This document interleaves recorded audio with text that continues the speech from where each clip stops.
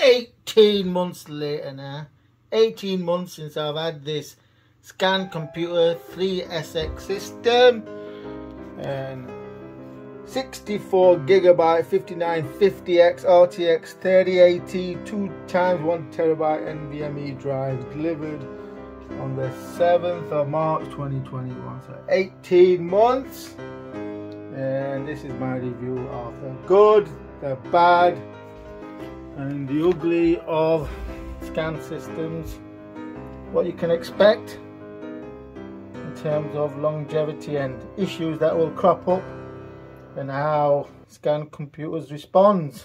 I did have a catastrophe in the uh, first week when I had to completely reinstall Windows from scratch. And in that respect the USB recovery uh, recovery disk was completely useless absolutely useless didn't do anything. In terms of performance well I was expecting a, a much bigger jump in performance over my previous six year old computer a 4790k uh, 32 gigabyte machine. It's not been that much of a performance. There it, it is better. I don't have to reboot as much and it is more stable what about Cindy Cinebench Horse 20 score? Has it gone down? Let's have a look. I think this computer's been up for about a week. Let's see what the Cinebench score is. Cinebench R20 benchmark. Uh, I think it's uh, slightly overclocked. Not much. Normally on a clean boot it should get around 10,000 600 score. 10,400 to 600 let's see how much it's gone down. Let's see if it's over 10,000 or under.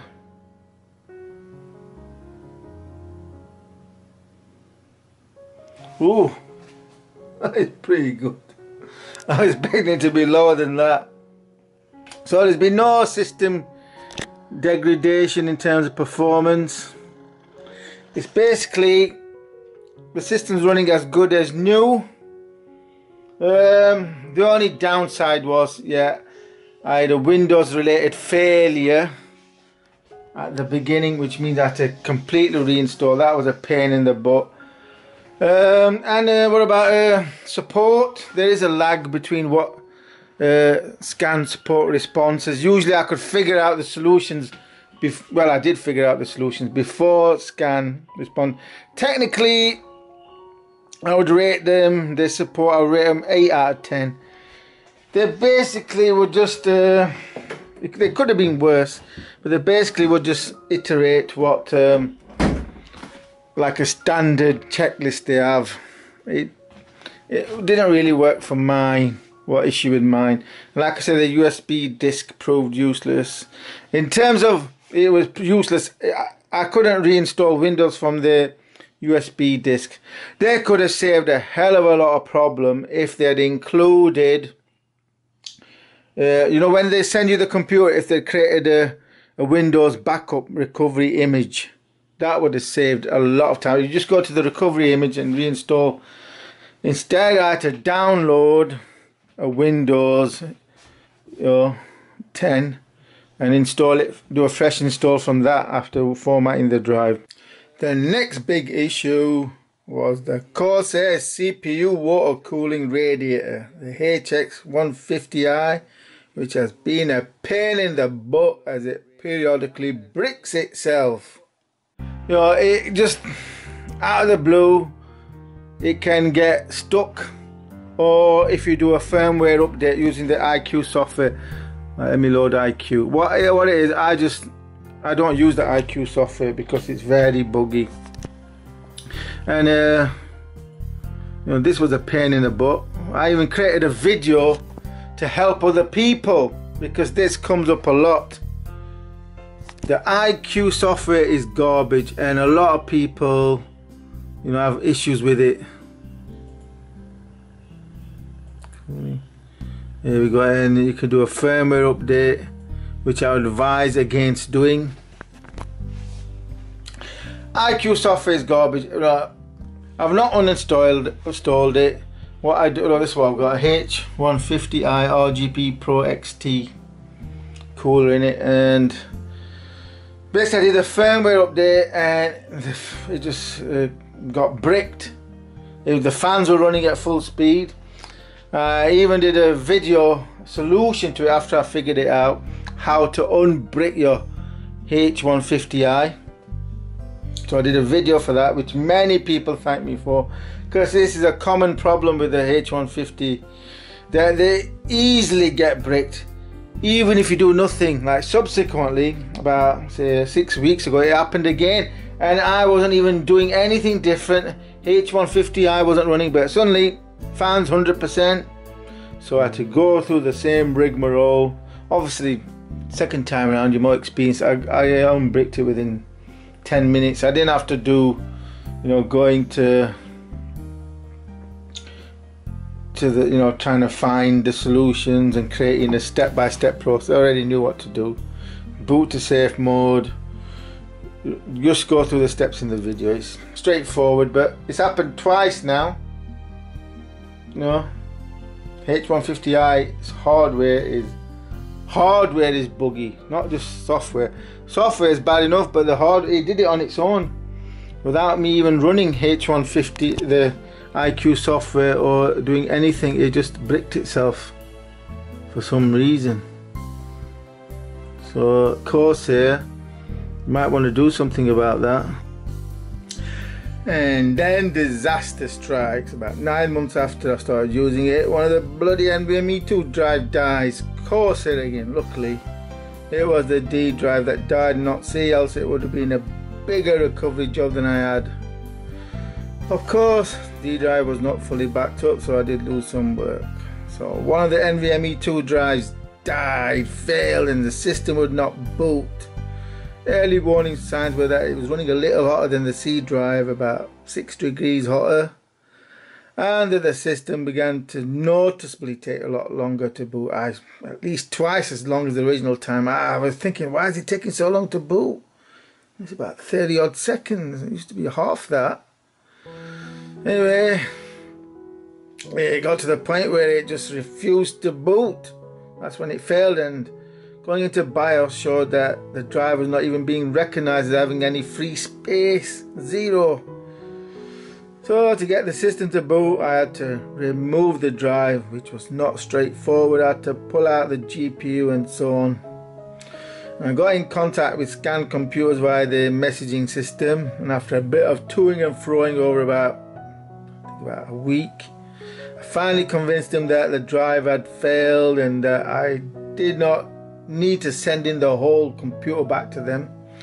You know, to replace the NVMe 2 drive, all I needed was a replacement drive, and I would install it myself and then return the dead drive to them afterwards, which they said to do. You gave me a couple of weeks, so you got two weeks to return the drive, or else they're gonna bill me full amount.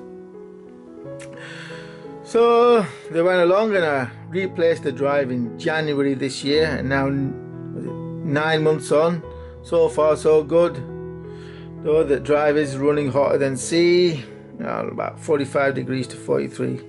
Anyway, it just illustrates Corsair products are not as reliable as they should be, as we think of them as being. That's issues with two Corsair products: the cooler, the radiator cooler, and one one of the NVMe 2 drives. That's not good. Anyway, so a lesson to all out there: back up your drives, especially your system drive. In fact, clone it. Clone it to another drive. Just in case of failure, so you can quickly swap it and get your system back up and running. That's what I recommend. Clone your system drive, back up your other drives. Anyway, so how do I rate Scan Computers from 18 months on? Okay, build quality, I would give them 10 out of 10. Cabling was good, components properly installed, unlike overclockers. You know, they glued the fans onto the cooler. You stupid? That was on the earlier machine. But technical support, uh, average. I give them 6 out of 10.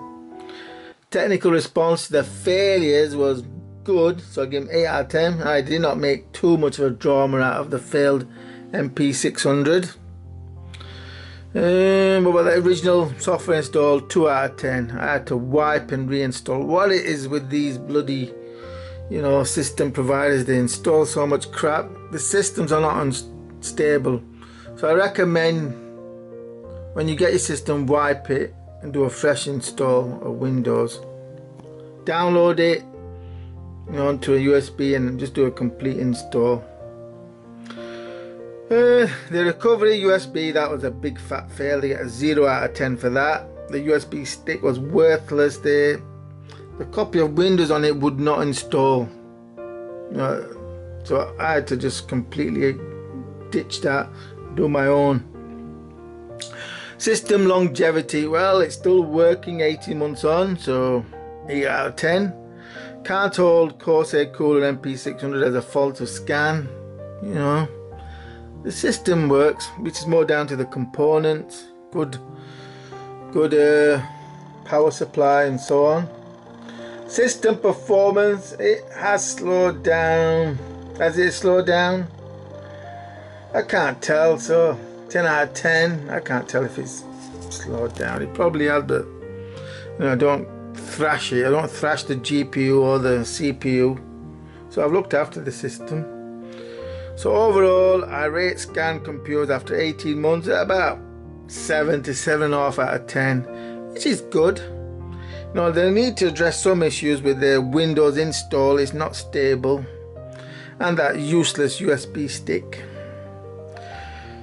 So it's working fine, fingers crossed the MP600 drives don't fail again.